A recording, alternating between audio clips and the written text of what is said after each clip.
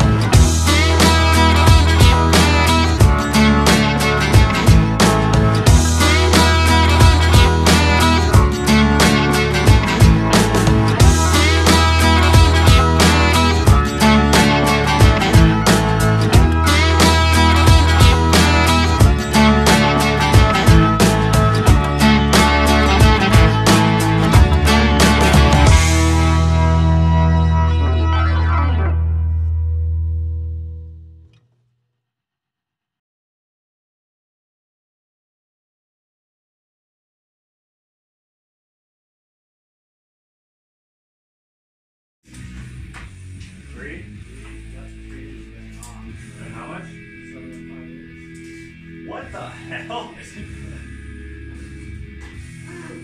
that is insane.